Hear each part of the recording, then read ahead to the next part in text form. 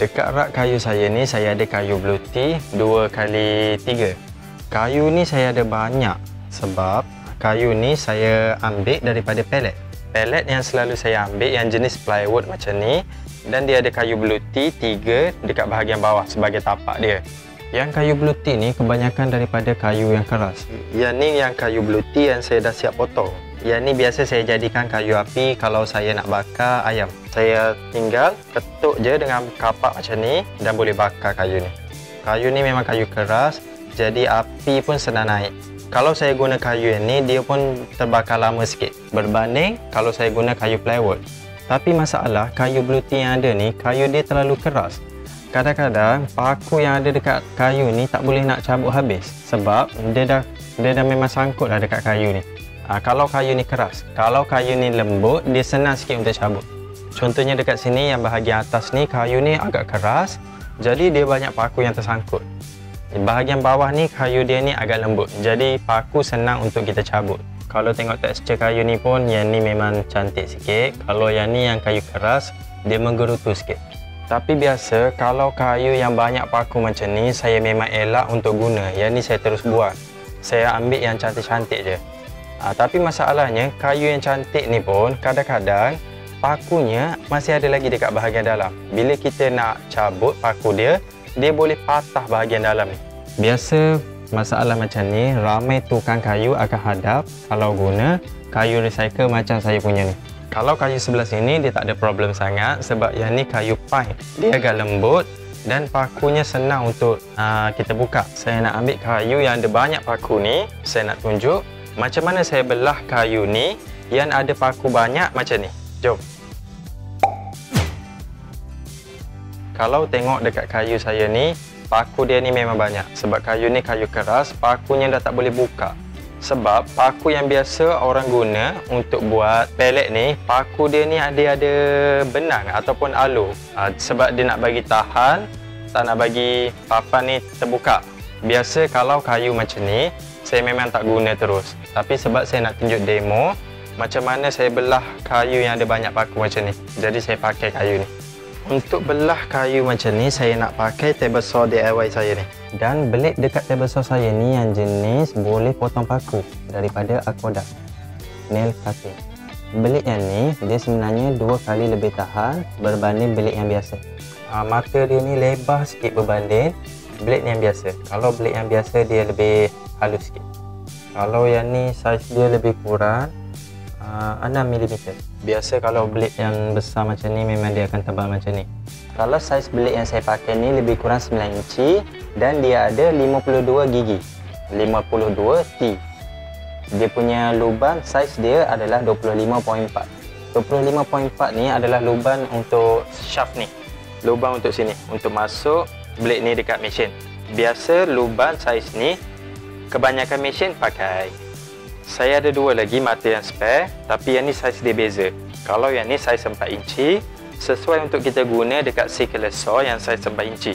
Kalau saiz 4 inci ni jangan sesekali kita guna dekat uh, mesin grinder. Sebab blade ni bukan untuk mesin grinder. Bahaya nanti boleh putus jari semua.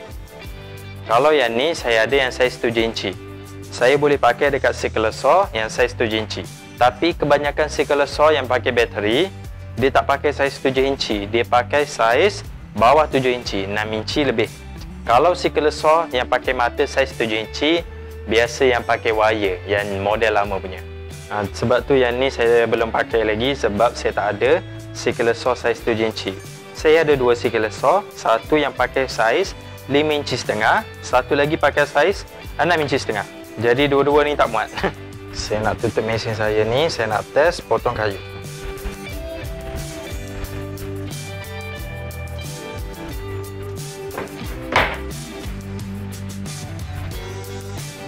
untuk belah kayu ni saya nak belah nipis je. Sebab kalau saya belah terlalu dalam nanti pakunya tak kena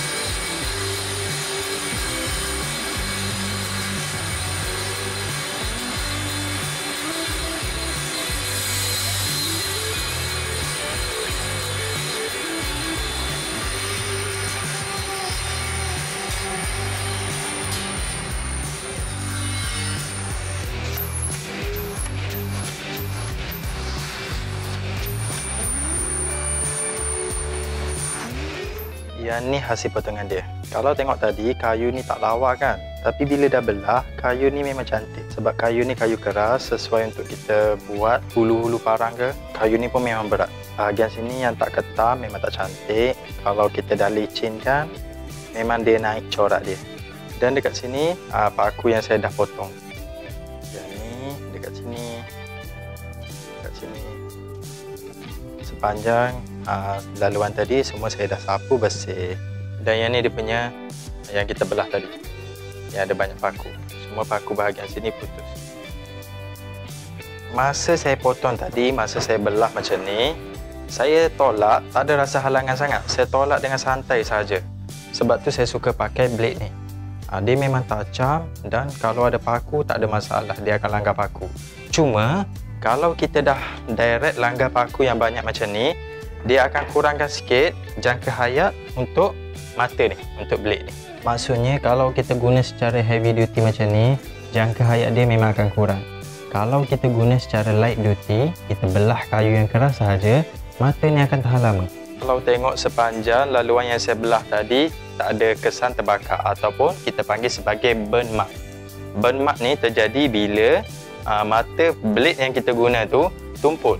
Dia macam terbakar dekat bahagian yang dia potong. Sebab dia tak boleh nak makan kayu ni, jadi dia akan pusing laju dan hangit dekat bahagian sini. Ha, jadi mata ni bagi saya memang sedap untuk belah kayu keras. Kalau tengok dekat sini sebelum ni kayu yang keras macam ni memang saya tak berani nak belah. Sebab mesin saya memang akan hangit. Dan dia tak mampu untuk belah kayu keras macam ni tolak pun sangkut dan berat tapi blade yang jenis ni walaupun dia punya gigi ni rapat tapi dia tak ada masalah untuk belah kayu tapi sebenarnya kalau untuk lebih sedap belah kayu, kita kena cari blade yang jenis jarang sikit. Kurang sikit dia punya bilangan gigi dia ni. Yang tu lebih khas untuk kita belah kayu. Nah, tapi sebab blade ni tajam, jadi tak ada masalah untuk saya belah kayu. Nah, tak ada rasa halangan sangat bila saya tolak. Macam saya cakap tadi, walaupun blade saya ni boleh potong paku secara direct macam ni, tapi dalam kerja harian tak adalah saya potong uh, direct macam ni saya hanya tunjuk kemungkinan paku yang ada dalam kayu yang kita recycle macam ni. Ha, jadi paku yang dah tertanam dalam ni kita dah tak nampak. Ha, jadi itu sajalah untuk video kali ini. Moga perkongsian saya ini bermanfaat. Terima kasih kerana menonton. Assalamualaikum.